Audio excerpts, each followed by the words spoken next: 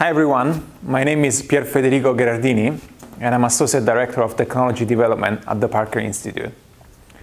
Today, we're going to talk about statistical methods that you can use to identify interesting features in single cell data. Say, for instance, that you have collected a flow cytometry dataset and you want to see if there is any specific cell population that's associated to a patient being a responder versus a non-responder to therapy. One obvious way of doing this is through the process of manual gating. So you can manually identify in your dataset different cell populations of interest, like CD4 T cell, CD8 T cells, and so on, and then investigated whether any of these are up or down regulated in responders versus non-responders. However, there is a problem of doing things this way, which is what happens if the biological population that's important for your process is not really one that you knew about before? And also, how much time do you really want to spend enumerating all possible different populations that you can think of. So one way to get around this problem is to use the process of clustering. So clustering is the process of using a computer algorithm to identify group of cells that are similar in your data and therefore form a cohesive unit. If you use clustering, then you can build a matrix like this one, where every row represents a separate cluster, and every column represents a separate sample, and the values in this matrix represent the abundance of each cluster in any individual sample. And remember, since you also knew that some samples were from responders versus non-responders, then you can use a variety of statistical methods to identify whether any of these clusters are associated with being a responder or non-responder to therapy. Now, the thing that's really important here is that if you want to do things this way, you really have to group together all your data and cluster it in a single run.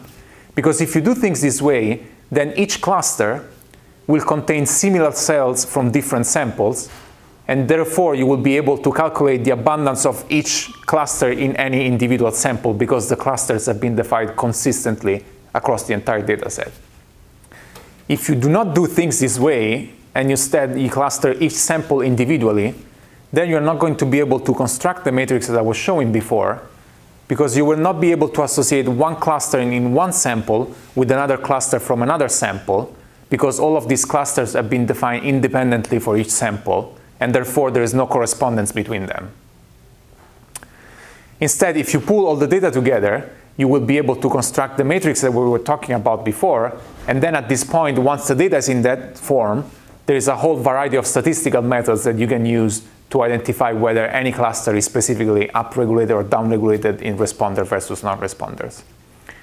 Also, the features that you use for your cluster doesn't have to be limited to just the abundance of the cluster in a specific sample. For instance, say that you have also collected functional markers in your panel, such as Ki67 or STAT5, then you can use these to inform the properties of your clusters. And so instead of just looking at the frequency of your cluster in the, in, individual sample, you can also look at the activation state of that cluster in that sample by using markers, once again, such as Ki67 or phospho-STAT5. If you're interested in this kind of analysis, please go to our GitHub page where you will find tools and tutorials that will help you apply this concept to your own data. And also, please let us know what kind of data analysis topics you would like for us to address in future installments of this series. See you next time.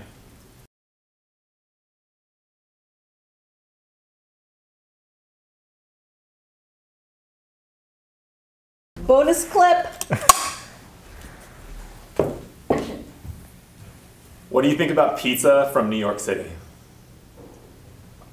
I mean, it's not real pizza. I guess it's good.